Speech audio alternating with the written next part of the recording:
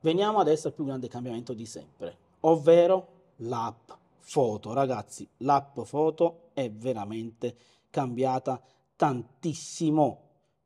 Questa è la sua schermata principale, quello che vedremo appunto da oggi in poi.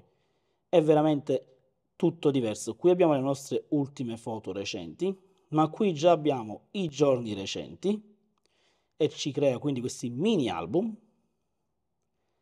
Abbiamo poi l'album di persone e animali, abbiamo le nostre raccolte in evidenza e possiamo scegliere anche cosa mostrare e cosa no. Abbiamo i nostri ricordi, abbiamo la sezione viaggi, questa veramente utile, e poi i nostri album, album condivisi e le foto in primo piano. In basso poi tutte le varie sezioni e anche suggerimenti per applicare degli sfondi. Possiamo poi personalizzare la nostra, diciamo, applicazione foto e ragazzi è veramente incredibile, è personalizzabile tantissimo e possiamo fare un sacco un sacco di cose. Andando in viaggi, qui ho tutti i viaggi che ho fatto.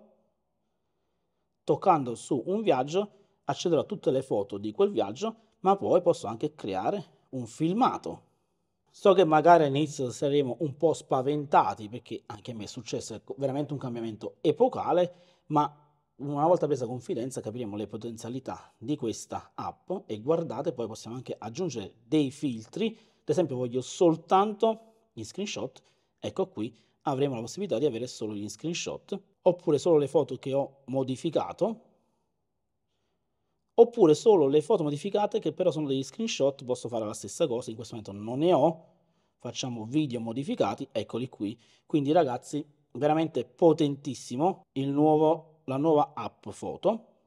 E poi ci sono le opzioni per la vista, dove possiamo ingrandire o diminuire appunto le nostre icone, mettere o meno la griglia delle proporzioni, mostrare o meno gli screenshot in galleria. Questa è una cosa che io adoro.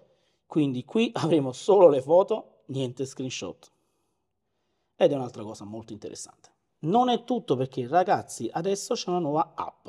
La nuova app si chiama Password. Non è altro che la sezione diciamo password di iPhone estrapolata è diventata applicazione.